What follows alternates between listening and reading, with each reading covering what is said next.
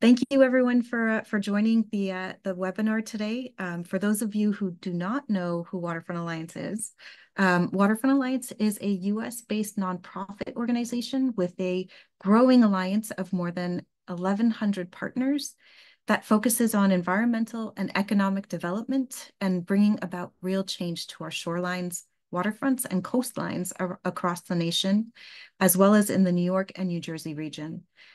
Waterfront Alliance is launching a new monthly webinar series um, that is focused on building a space for critical conversations around key climate-related issues facing our region. We are so thrilled that you could join us today for our second webinar in the series, and we welcome you to visit our website to learn more about the upcoming webinars in the series. Today's webinar is entitled Taking the Heat, Are We Ready? Our panelists today will discuss how resilient our current physical and social infrastructure is to, to, to, extreme heat and what is needed to update these elements and to prepare historically disinvested communities for the heat. It is now my distinct honor to introduce you to our panelists today. Um, very, very excited to introduce Caleb Smith, um, who is the Resilience Coordinator for WE ACT um, for Environmental Justice. They are a lead facilitator of the Extreme Heat Coalition that was launched as an extension of the Heat, Health, and Equity Initiative. The coalition seeks to protect urban residents from, from heat stress through policy, adaptation, and mitigation strategies by integrating nature-based solutions, green infrastructure, social resilience planning, as well as renewable and affordable energy programs. We're also very excited to introduce Karen Blondel, um, who is the Executive Director uh, for Public Housing Civic Association. Um, Karen is a native New Yorker from Coney Island. Um, she is also a veteran organizer and tenant association president of Red Hook Houses West. Um, in 2022, she was the Harvard Loeb Fellow and was recently appointed to the new Public Housing Preservation Trust, a financing mechanism that uses bonds instead of private financing to repair NYCHA developments. Um, Karen is currently focused on building a new program, the Public Housing Civic Association, that will serve as a NYCHA watchdog and educate tenants on their rights about municipal government, public and fair housing, and climate justice. I'm also very honored to introduce Paul Lozito. Um, Paul Lozito is the current Deputy Executive Director for the Mayor's Office of Climate and Environmental Justice. Paul was formerly the Director of Housing Policy and Affordable Housing for the, for the New York Governor's Office of Storm Recovery, or GOSR. Um, prior to GOSR, Paul worked with various units of government and nonprofits, including the Urban Land Institute and Local Initiative Support Corporation. And finally, very excited to, uh, to introduce Anna Bershteyn. Um, uh, she is an associate professor of uh, po population health at New York NYU Grossman School of Medicine in New York City. Her lab uses simulation science to inform public health decision making at the interface of infectious diseases and other health conditions. She collaborates with local public health agencies, health authorities in other countries, and international agencies such as the World Health Organization. Thank you all for joining the, uh, the conversation today, and we're really excited to jump right in. Um, would love to set the stage um, and really get an understanding of the heat for this discussion. Um, tell us about the heat. We're just coming out of a very long heat wave and would love to really understand what's happening in the region today and what are some of the projections for the future. Paul, would you love to like to kick us off? Thank you. Thank you so much. And thank you for having me today. So, just talking about the stage setting for what we're dealing with in New York City, let's start with the science of where we are, right? So, we know that we were reclassified as a humid subtropical climate and we were classified a humid subtropical climate from a temperate climate. And so, what does that actually mean for New York City is that we are hotter and wetter than we've ever been before. We know that in previous years, I think it was last year, most weekends it rained during the year. And that's in part because we are dealing with a different climate. That also means not only are we hotter and we are wetter, our our weather is more spontaneous. So this is where we are seeing cloud burst events, right? And we are also, which means that it rains specifically in one place for a longer period of time, but it also means that we're seeing unusual heat events where it's over 95 degrees for days at, on end. And what that means for the city is we all know what the urban heat island effect is. But what does it truly mean is that in the past, we were built for a city that was of a different climate. We have brick buildings, we have concrete sidewalks, we have black asphalt uh, for our streets. And what that means is that that absorbs heat. And in the past, that was more of a benefit for us. But now what we're seeing is that because we are made of brick, we are made of concrete, and we absorb heat, the brick retains that heat and radiates that heat day and night back to us. And it compounds the issues that we are seeing in these extreme uh, heat events. Um, it's as unfortunately leads to about 450 hospitalizations a year.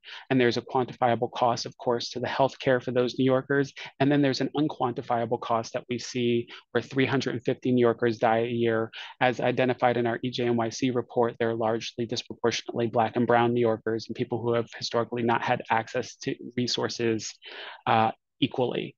Um, those are the facts for the situation what we're dealing with, but I do like to talk about things from a potential point of climate optimism because we are having conversations like this because of the folks who are on this panel because of the other people who are really recognizing this as an issue as an on hand all hands on deck situation we are taking a variety of actions that we can talk through from working to establish a maximum indoor temperature for new york city uh, buildings, working on an urban forest master plan to cool our temperature at the street level, looking at cool corridors and ways to repel heat from penetrating uh, concrete and asphalt surfaces, and a variety of other efforts that I'm sure we'll talk through in this in this conversation and beyond as we evolve towards dealing and coping with the heat as it uh, impacts us into the future. That's very helpful. Thank you, Paul, for setting the stage. Um, Anna, would you like to share a little bit more about some of the projections that you're seeing? Sure. So I think one of the first things when we think about human health is uh, you know, when Paul talked about the humid subtropical climate, in, in terms of health, the, the, the word humid is maybe the most concerning of those because our bodies, the way that we have evolved to cope with heat is by sweating and evaporating sweat. It's the main way that heat leaves us when we're too hot. And of course, sweat will not evaporate very effectively when it's quite humid. And that's why we start to see heat stress at much lower temperatures um, in humid heat compared to dry heat. Um, and so that that's one thing that's concerning and, and exactly how the climate systems will will kind of maneuver humidity um, in our region. I also just want to say, you know, as Paul said, there there are real options for us in New York. There there are things that uh, that are doable that will be done that will make the situation better on the ground in New York.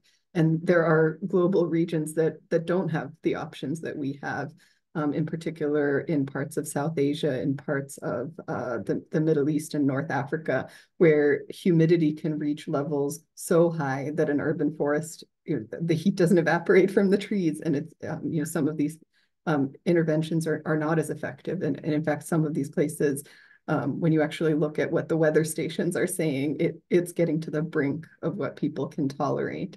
And so, um, you know, the other vital piece of this is we have to stop com combusting carbon, you know, we have to stop combusting fossil fuels. We have we have to do the adaptation, but the mitigation is absolutely key. You know, we in New York, we will not be the first to tip into where the limits of adaptation are tested. That that'll happen in other parts of the world first. But we're a global community. We're a city of people from all over the world, and you know we, we have to have a shared humanity. And i think that that means we have to equally value um, reducing the carbon footprint of our city.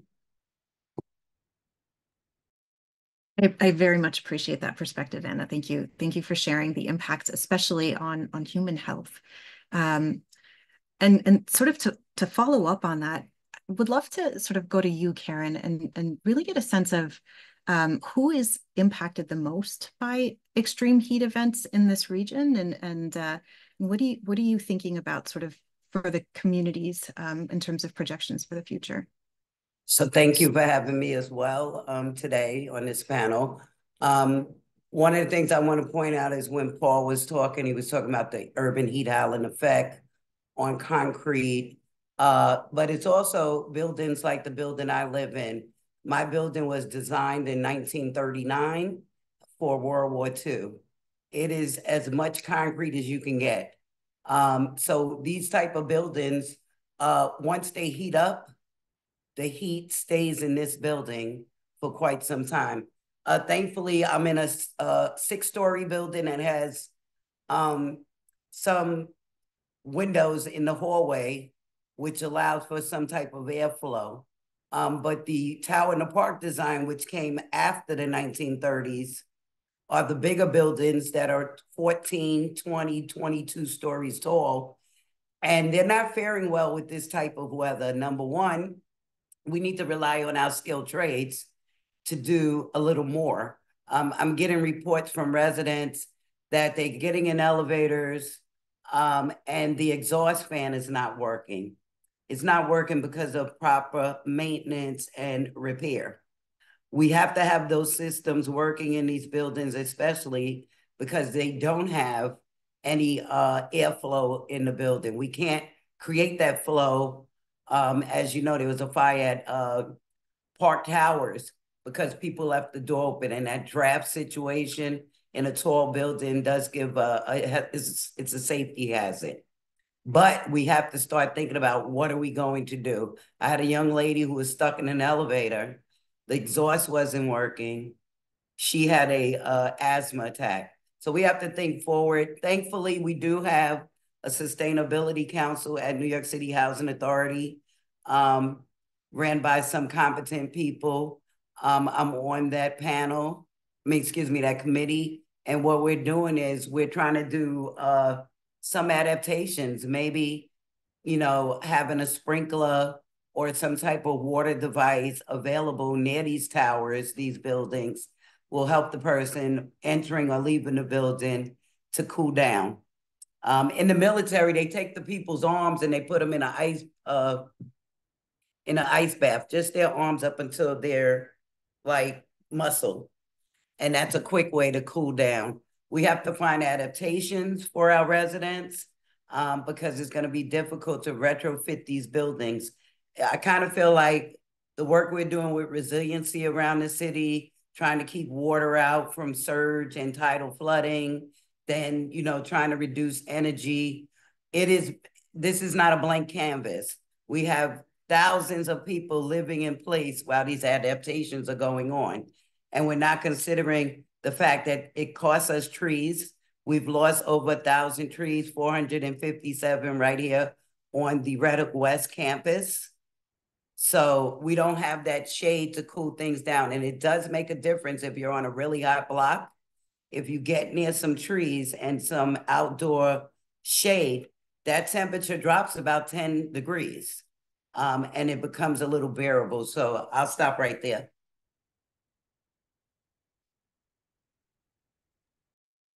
Thank you. Thanks, Karen. That was uh, that was really helpful and, and sort of teed us up for for the next question as well. Um, would love to actually hear a little bit more about uh, the current readiness to our physical infrastructure, um, especially with, you know, we've, we're seeing more and more examples of our infrastructure kind of getting stuck in the extreme heat. Um, would love to hear how, how we feel about, um, you know, are we ready? Is our infrastructure, is our physical infrastructure ready for this extreme heat? Uh, Paul, do you want to do you want to take us through that? So as it relates to our physical infrastructure, what we are doing is we're having a level setting moment in trying to identify how heat impacts specific and discrete neighborhoods, and then learn from that and extrapolate citywide. Um, one of the extrapolations that we've seen is uh, the need to expand our, our tree canopy. We know that in forested areas of New York City, I know not everyone considers trees to be infrastructure, but they are, in fact are in a way for us, right? Um, we know that in forested parts of New York City, the temperature can be up to 13 degrees cooler than places where that don't have a significant tree cover. So what we are doing is we're working with parks, we're working with NYCHA, we are working with all of our campuses, all of our city agency partners to identify opportunities to expand our tree canopy citywide. And so over the course of the next year, you will see us work through what we're calling our forest master plan for New York City. And the goal there is to expand the tree canopy, which has the co-benefit of creating some of the infrastructure that we need to reduce our urban heat island effect, make things cooler, and then the co-benefits that we see of reducing flooding in some instances and just uh, giving people a higher quality experience as they move through their, their neighborhoods. Other explorations that we're seeing that are uh, being explored are cool corridors. So I, I think the simplest way of talking about one concept of a cool corridor is that in cities further south, um, I believe it's Charleston, they apply a reflective paint to the ground. And what that does is it reflects some of that sunlight back into the sky as opposed to being absorbed into the asphalt, which actually reduces the heat island effect in certain instances. So that's another opportunity that we're exploring in our infrastructure. And lastly, what we're exploring is sort of the full consortium of social infrastructure on a hot day what do you have access to? Do you have access to a pool? Do you have access to a park or another place of refuge? Do you have access to, uh, you know, to Karen's point, uh, a sprinkler or some way to just get a little bit wet or a mister so that you can cool yourself off a little bit?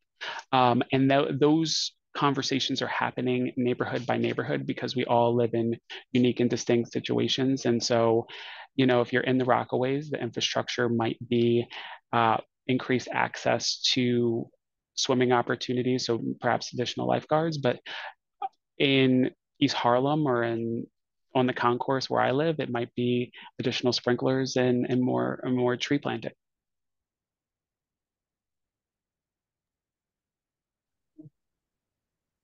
I'd love to also maybe dig deep deeper into sort of what uh you know, really thinking about the NYCHA housing system and um, as well as the communities that that live in New York City. And and um, Karen and, and, Caleb would love to sort of hear more about whether or not um, you know there is a, a, sense of readiness for our communities, especially in the NYCHA housing system, to uh, to the extreme heat. Um, yeah, I could chime in. I think uh, I'll let Karen talk more about uh, NYCHA specifically, but I do think there is quite the opportunity to adapt more of our uh, vulnerable populations to the extreme heat.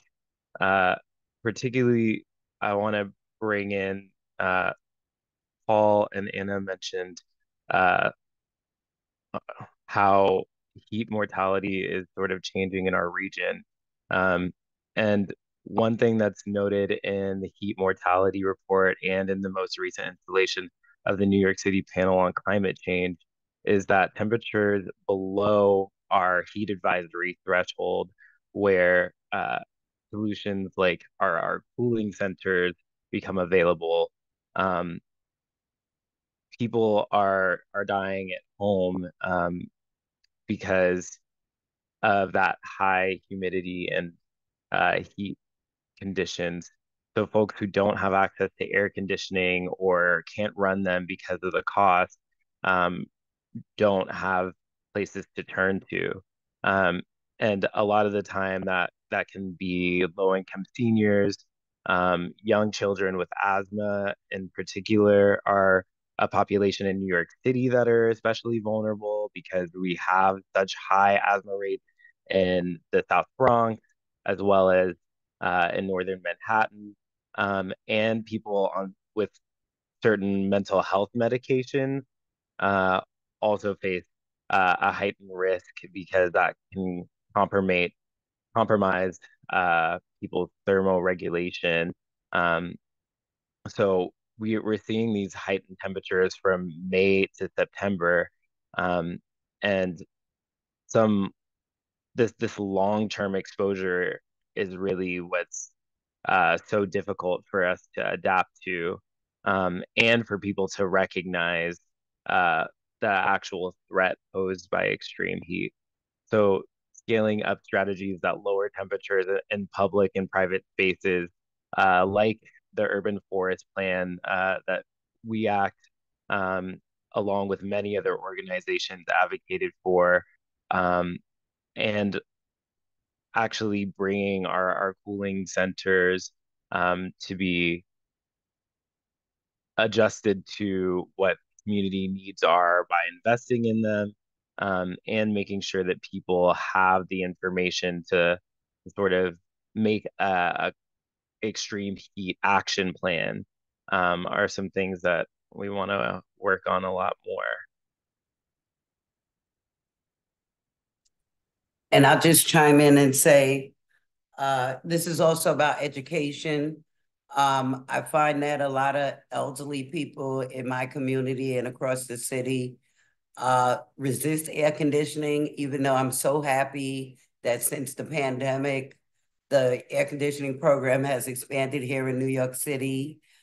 Thankfully so, because um, I see quite a few people took uh, NYCHA and the city up on that offer to get an air conditioner.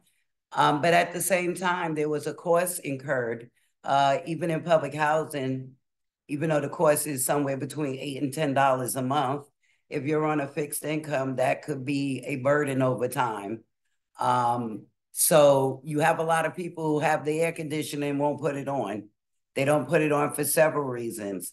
We also have a diversified city where we have a lot of people coming from the Middle East and everywhere, where even though it's warm, they wear uh, all of the garb. And so I'm finding more and more people wearing long sleeves and jackets and things like that in this heat. I think we have to explain to them and stop just having like the temperature as the main focus, but maybe like also highlight the humidity and how that affects the body so that people know that they need to find a way to dehumidify that unit so that they are okay inside of these units. Um, humidity also brings mold. We are on a campaign at New York City Housing Authority to get rid of mold. So this is another exasperation that happens because of climate change, that there will be more uh, mold spores um, in these uh, apartments. So again, I think education is like extremely important that we use our cooling centers, our senior centers, our community centers to educate people as to what the temperature is now and what Paul said earlier that we used to be a temperate zone and now we're subtropical. I think that needs to be blasted out for people to see that this change actually actually happened within the last five years. Um, so they know what that feels like and what you know, what, what we have to do here. Um, and then finally, I just want to say something because I'm always cautious. Um, yes, I am an environmental advocate, but I advocate for consensus building and give and take here. Asking for the whole world to just get rid of fossil fuels is not going to happen. It's just not going to happen. It has polarized our city and our states and nationally. We need to take this one step at a time. I'll give you a great example uh, solar panels. We would love to have them on our roofs, but we declined. Number one, these are brand new roofs that we just got. We have to make sure that the people who are going to install them and maintain them are not compromising our roofs, further exasperating leaks from cloud bursts and just rain. Um, the other thing is we can't use our own energy in our building. So I'm a NYCHA resident you want to put the solar panels on my um, roof, but I already get my uh, electricity from New York Power Authority at such a low rate, it I, we would never, and expect we would never convert over to the solar because number two, our wiring is still from the 1940s. So anytime you open up any of these outlets, walls, um, conduits in these apartments, it's completely collapsed. We have to start rebuilding the skeleton of the infrastructure before we start telling everybody to get rid of all the fossil fuel. because it's too polarizing. It's not going to work. We have to take little but swift steps towards our goals. And that means all hands on deck. Uh, really quickly, I, I do want to uplift some things that WE ACT is advocating for at uh, the federal and state level that can start to address some of the issues of like energy affordability that we brought into the conversation so far. Uh, particularly the low income home energy assistance plan is something that we see needs like a much larger allocation in New York State. Um, only about upwards of 20,000 households are able to benefit from the cooling assistance benefit. And in the past couple years, we've only been able to allocate around three to four percent of the LIHEAP budget for cooling. So that leaves a lot of people behind. Uh, and when we do get more of that funding, it needs to be more flexible uh, so that it can be used to cover that that cooling cost um, in the summer months, as opposed to only providing uh, air conditioning and other cooling devices. So that's a change that we we're continually working on. Um, and Karen mentioned some housing is not prepared to install um, renewable energy directly onto the property. Uh, but things like the the Build Public Renewables Act and its implementation, we need to make sure that uh, community solar is accessible to those households that can't uh, directly install, um, you know, renewable energy solutions, and ultimately help bring costs down for uh, for low income households and build out the infrastructure for more private renewable uh, energy resources to be added to the grid because we do need that resiliency as our need for cooling uh, scales up.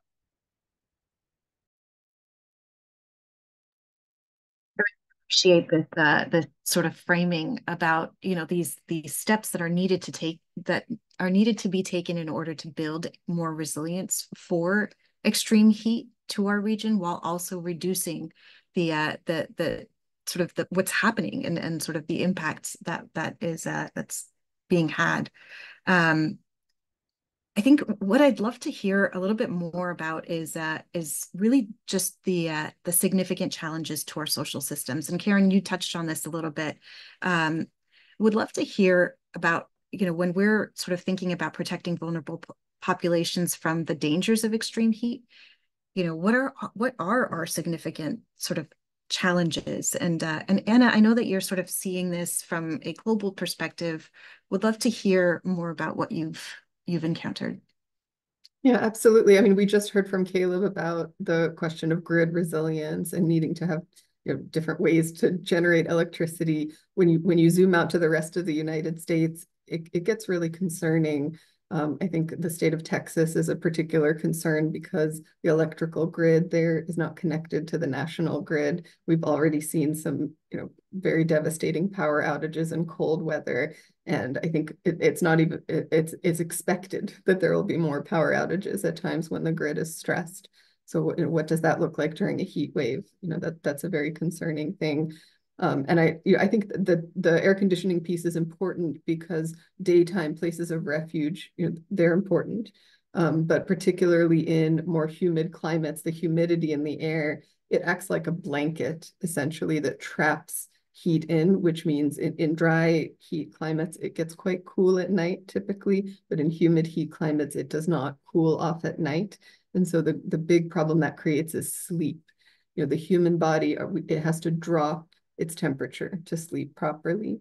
And so you know, people will, will go without sleep um, over prolonged heat waves when it doesn't cool off at night. And so we, we need to think about the, the air conditioning piece or some, you know, some place where people can be cool, particularly when they're asleep. It's such a vulnerable time.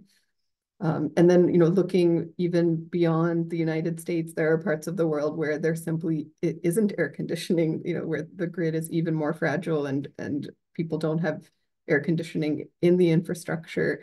You know, I think about places like Mumbai City, which have these very, very dense informal settlements or slums. You know, many time, many New York City's worth of people um, you know, living in these very dense settlements where there is no air conditioning, there is no cooling shelter. It's not clear how to even build one because there isn't square footage. People are living in every square foot of space. And, you know, for, for those places, there, there aren't clear solutions, you know, even, even of the kinds that we're talking about. And it, it's really going to take some, you know, I think it's going to take mitigation. Of course, it, we have to stop emitting CO2, um, but that won't be enough at this point. It's also going to take innovation to protect those communities.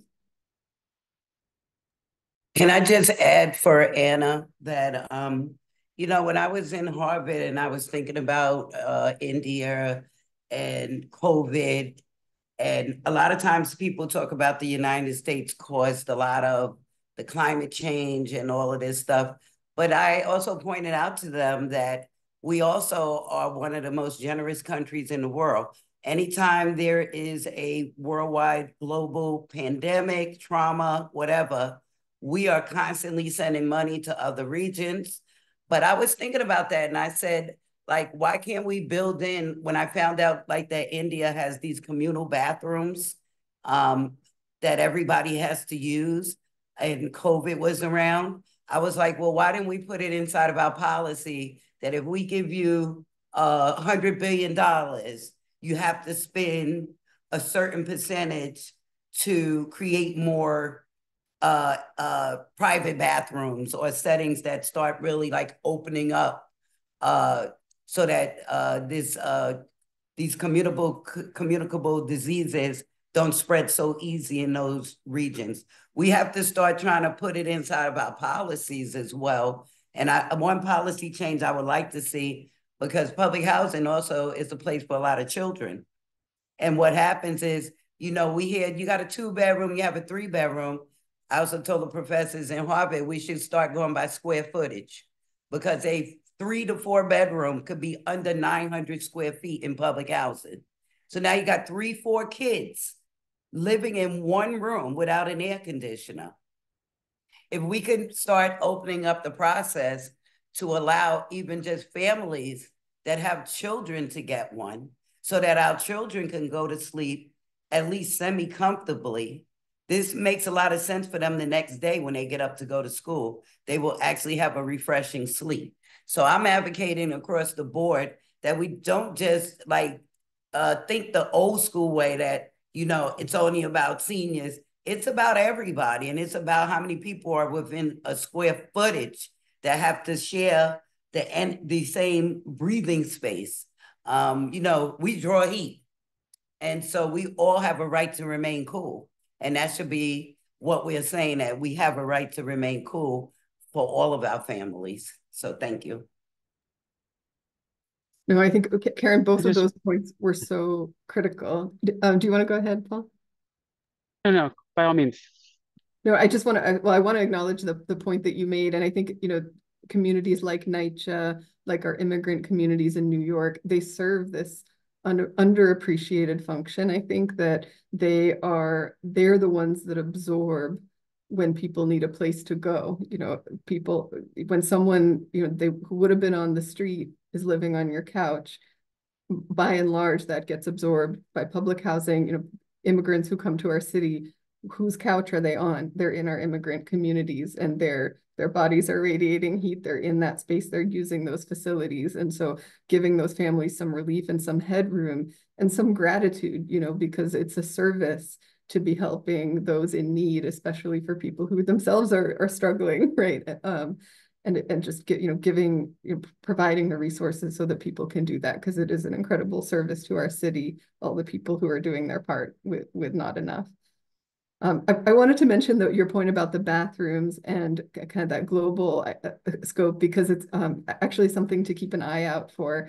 There's a institute that is will hopefully be built on Governor's Island, the New York Climate Exchange. And um, I have a close friend who's an innovator in redesigning um, bathrooms, redesigning air conditioning, kind of using engineering to help with this problem.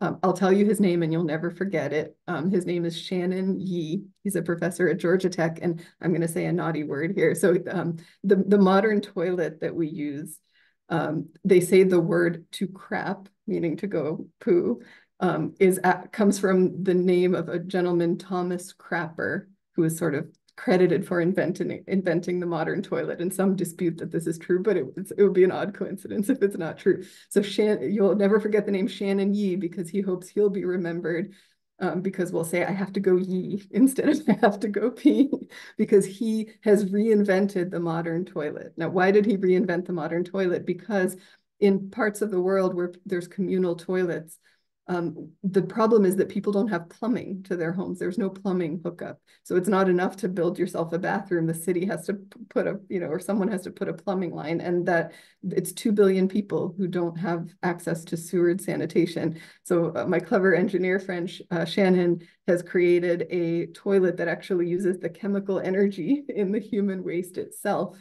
to safely dispose of that waste and kind of burn it up and make it go away um, which is kind of cool. We'll see. Um, I hope he's planning to put some prototypes on Governor's Island if the whole thing is successful.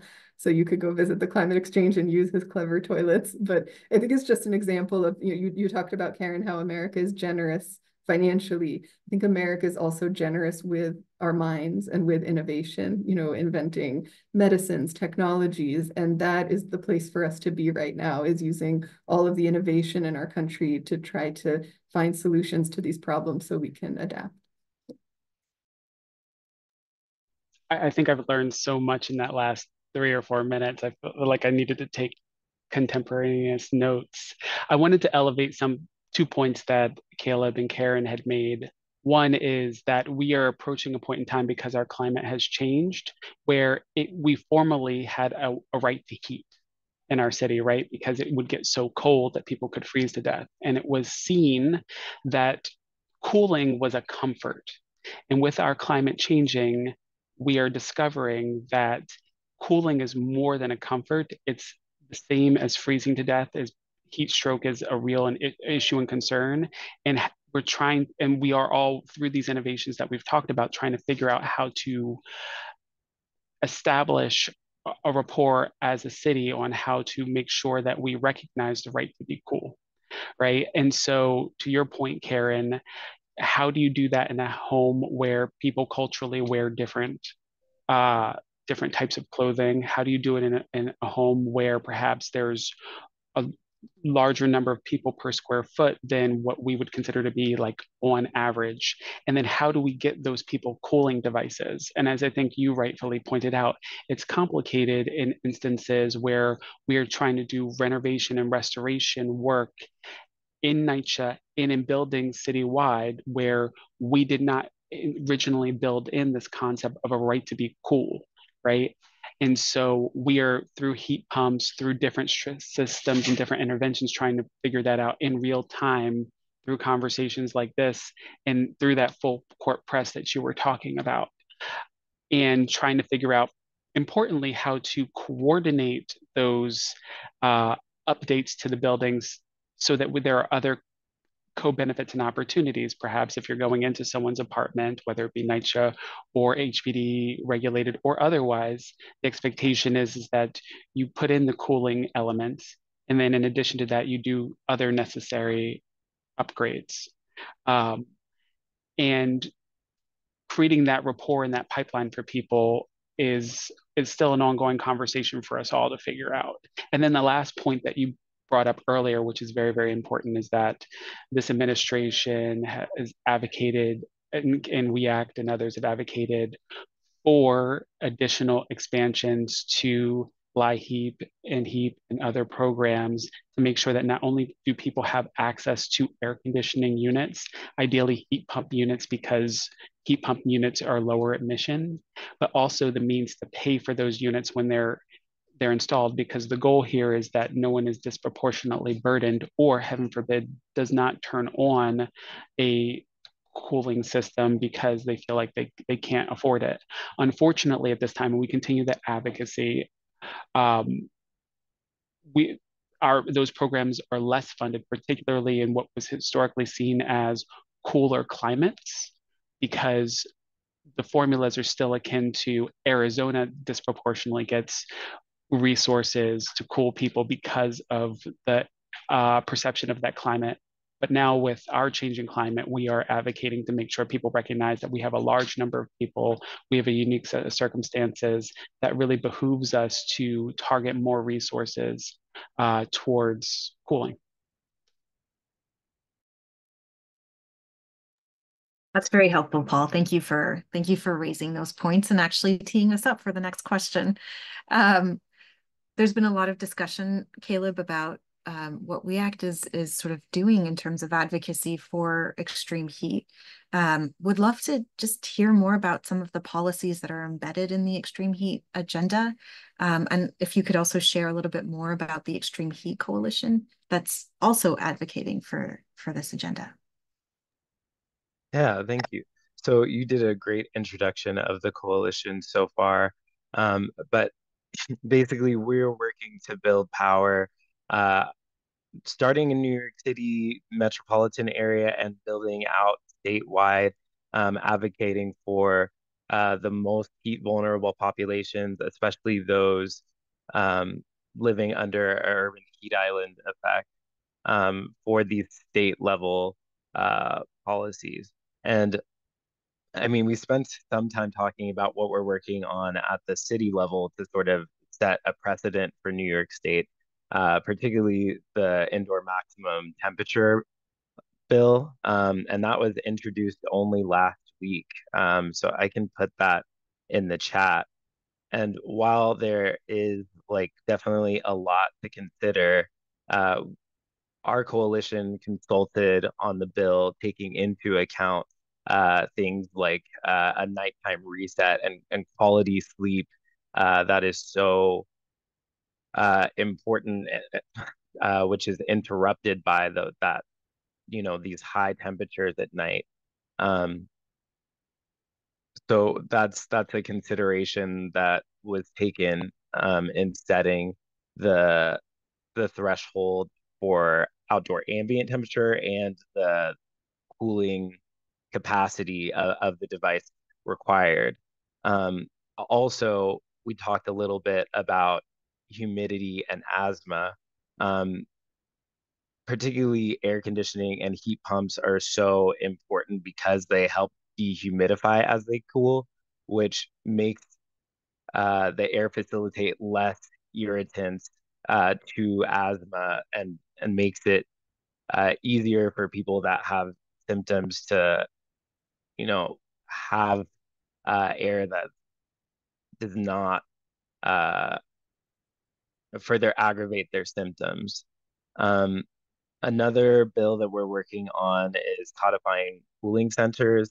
Uh, our members have led reports um, kind of taking stock of uh, what's available at cooling centers, the services that they're able to receive, um, and codifying cooling centers would allow for the Office of Emergency Management and the Department of Health uh, to really designate the number of cooling centers and standardize uh, the resources available and including it in the city charter uh, then opens up the program to receive uh, a line item in the budget and the the budgeting process, uh, which is really important when we're talking about uh, allocating resources to a comprehensive outreach strategy, uh, feedback feedback mechanisms for residents to really talk about their experience and how to improve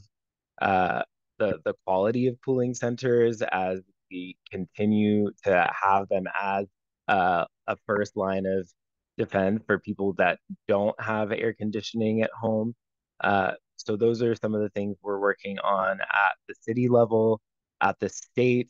Um, the New York Heat Act, which would have capped uh, energy burden for households at 6%, did not pass this year, but it's definitely something that we will integrate in our, our state advocacy moving forward um, because that is something that is so critical to our future that we don't have anyone who can't afford to pay their electricity bill. Um, and that also touches on the mitigation piece of uh, not subsidizing the extension of our gas infrastructure when we know that it will be a stranded asset at some point.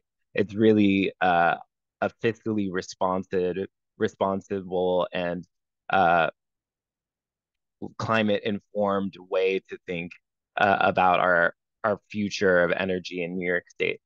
And then lastly, I'll briefly touch on um, a, a, new addition to our uh, our state policy goals in the extreme heat policy agenda, and that's uh, including cooling in the warranty of habitability. Um, the warranty of habitability is basically uh, state standards for safe housing. Um, and we mentioned, you know, heating is required in that, electricity is required in that. Um, you know, making sure that there's no leaks, all of all of these really basic standards. Cooling is a part of that. If we can recognize that uh, temperature control uh, is vital to human life, we need to have cooling. Um, and so the reason why we need this, in addition to an indoor maximum temperature, not only does every city need to plan for this, but also it helps reduce the cost burden being shifted on to tenants because we mentioned there's a lot of building upgrades and electrical retrofits that need to happen. Um, this would require that um, uh, major capital improvements aren't passed on to the tenant when they're adding cooling. This is a cost that um, really needs to be shouldered by uh, those that have a variety of different ways of accessing capital, and that is not and that's not our low income households that are already burdened uh, from cost of living, um, whether that's energy affordability or um, all these other you know systems that make it really hard for them. So try to sum up a lot there. I know we have questions in the chat. Um, but yeah, I, I hope that helps kind of clarify uh, a broad range of the things that we're advocating for. That's that's really helpful, Caleb. Really appreciate you going uh, through. While we're yeah. waiting for while we're waiting for our state, city, and federal government to come to our aid, uh, I am proposing that we find a way to uh, distribute shades. Uh, when I first moved into NYCHA in 1982, they gave us the first set of shades for all of their custom sized windows. Um, and so after that, subsequently, I had to buy my own shades. I am proposing that we bring that, those shades back, or even going a step further. Uh, uh, I've been talking to my borough president here in Brooklyn about facilitating uh, blackout curtains for two reasons. Number one, it'll cool things down immediately um, for the warm months, and then it kind of insulates uh, in the winter months. But we're gonna have to do some real basic stuff too. Like I get that we need policy changes and we need to change the way we design things, like what's gonna be happening on Governor's Island. But right now, the immediate thing is to get the cooling to them right now. So I am proposing that we look into the smaller, uh, uh, the small ones. And I'm gonna have to turn this off because I ran out the other room because they're jackhammering and the whole building's shaking. So pardon me. I'm sorry, Karen, that you're experiencing that. That's that's not great. Um, but I really do appreciate both of what uh, Caleb and Karen that you're you're sharing here. I think it is really important that uh, that we're thinking about it from a systems perspective, but also thinking about what can be done right now. Um, and I think I think that's that's really in incredibly important and goes to my last question um, about how can we bring organizations and stakeholders and actors like academia, like you know the mayor's office like organizations like WE ACT and and karen representing the community how can we bring us all together to really collaborate on building a more sort of resilient future um, to uh, to to the region for uh, against against extreme heat. Would love to hear recommendations, examples, um, you know, things that have worked in the past.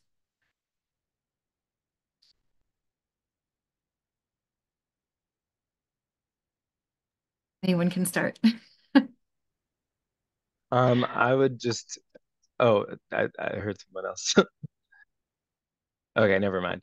Um, I would just kind of lean on uh, building out processes that uplift community-led strategies, um, particularly the success of Be a Buddy and WE ACT has also developed a climate ready uptown plan uh, which basically helps identify uh, assets to help respond to emergency situations, provides education about uh, extreme heat and flooding, um, and help people uh, sort of map out a plan when it comes to uh, transit infrastructure that might be impacted, um, as well as points of information in their communities um, and ways to strategize with their neighbors. So that's a module that we uh, train other community-based organizations uh, to bring to their member base uh, and customize for a neighborhood-led strategy around uh, climate emergencies. So as much as the city can support and seek federal or state funding um, looking at like the Bond Act and the IRA to support things that do that. Um, both looking at like resilience planning, like I'm talking about, but also uh, infrastructure as well. I think that process of constantly consulting like what works for for this specific community, I think uh, will really light the way forward. I just want to elevate exactly what Caleb said we have a program called Climate Strong Communities. And the benefit of that program has been to go to high heat vulnerability, high flood vulnerability neighborhoods and meet people where they are, say, this is the vulnerability that we're seeing. How would you address it? And here are the current tools we know that are available to you. And what that's uh, enabled us to do is have real conversations with people about their specific needs. So we'll go to a community and we'll say, you have this number of libraries that can serve as cooling centers. You have this number of pool opportunities in this high heat vulnerability area.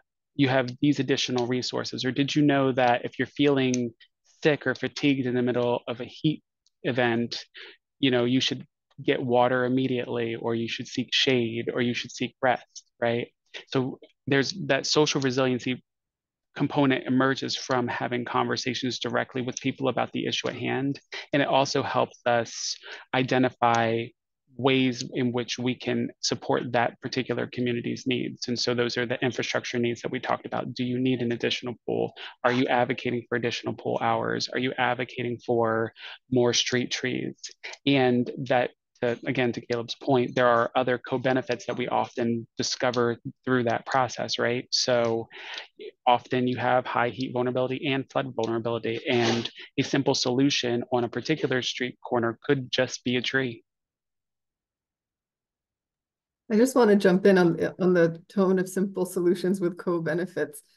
What about kicking cars out of New York City? Combusting huge amounts of gasoline makes things hot it you know it detriments air quality noise. It makes it not safe for kids to be out moving around independently. Um, clearly there's a climate mitigation problem there you know automobiles are the number one source of carbon emissions from our city but there's also a huge adaptation piece i think that maybe is underappreciated. It, it's one of many reasons that we need to manage having the avenues being essentially freeways through manhattan so, so our office works on advocating for transportation solutions, mass transportation solutions, and reducing the number of vehicle trips so that we can use that extra space for a communal need or for the community that lives in that community as opposed for to for uses for people who are driving through a community. So, and that's a point of alignment. The structural change that you're talking about, which would be, say, removing cars from New York City, that has to be a collective dialogue that would happen over the course of a period of time. But that does speak to a broader issue that comes up time to time when we have these kinds of conversations.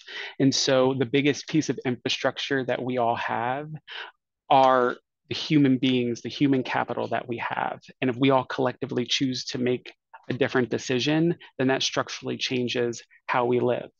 The example I always like to use is the hole in the ozone layer. When I was a kid, it was all about the hole in the ozone layer. It was a big problem, right? How do we deal with the hole in the ozone layer? Or did we solve, why do we not hear about it? Is because we solved the problem, right?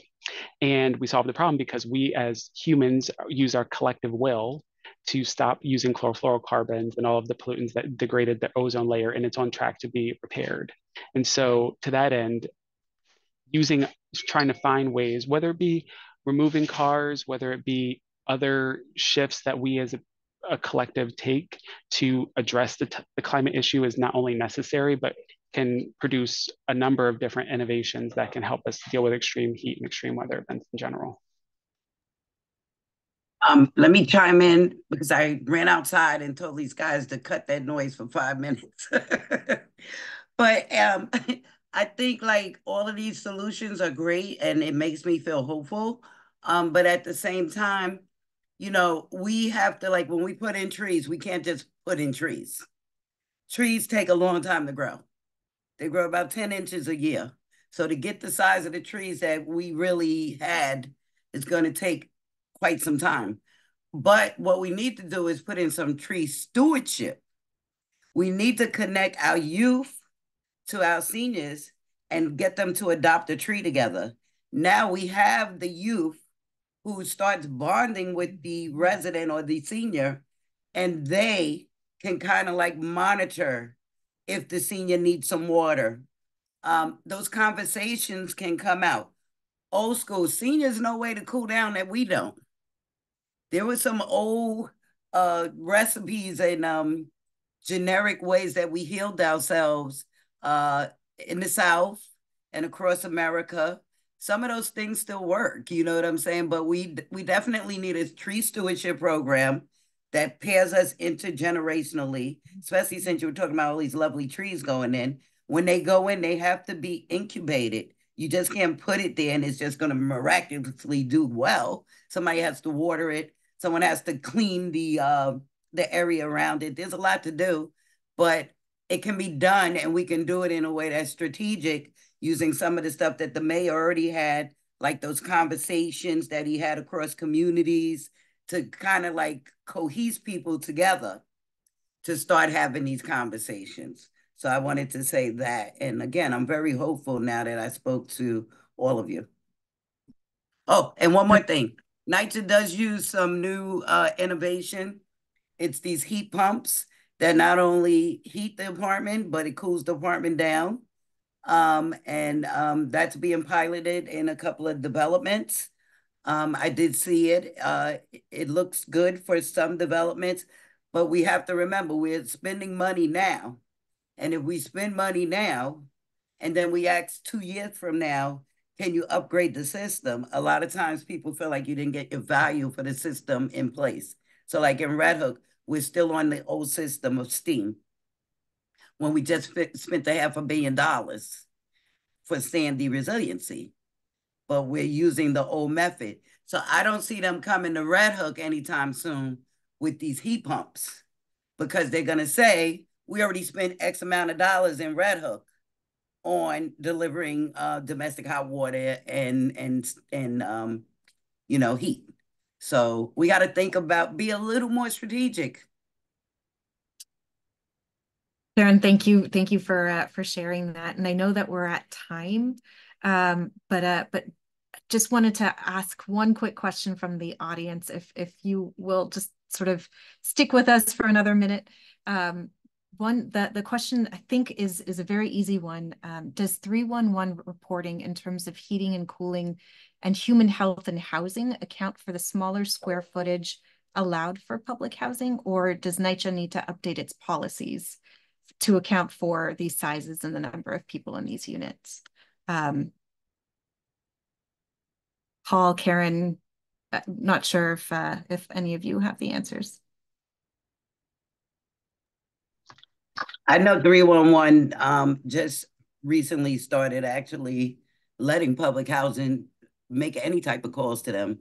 We were told for years, you know, you have to speak to New York City Housing Authority. So I would say that no, they don't know that much to account for square footage or the way a building was built, you know, um, but uh, it's a work in progress. You know, I do have still that confidence that um, if we all work together with WE ACT, with the uh, the uh, Mayor's Office of Climate and Environmental Justice, with our epidemiologists across the city, with I think that we can come up with some solutions. It's not going to be one size fit all, but we need to keep on talking to people on the ground because they're going to keep telling you, yeah, you put that air conditioner on, but I hate air conditioning. Why do you hate air conditioning?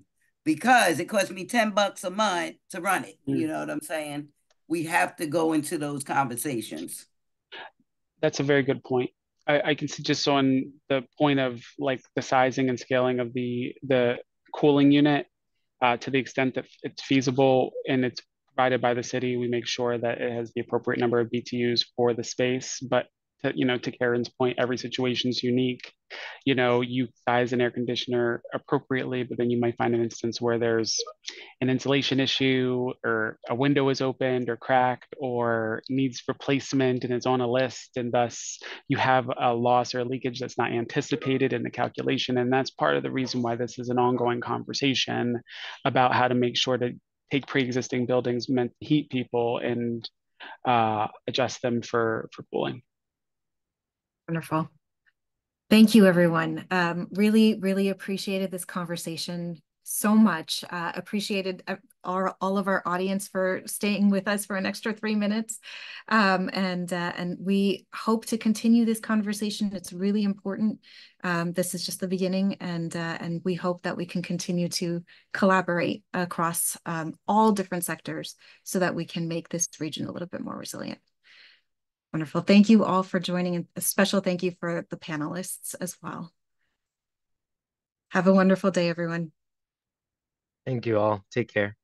It was a you so pleasure. Please stay in contact. Thank you. privilege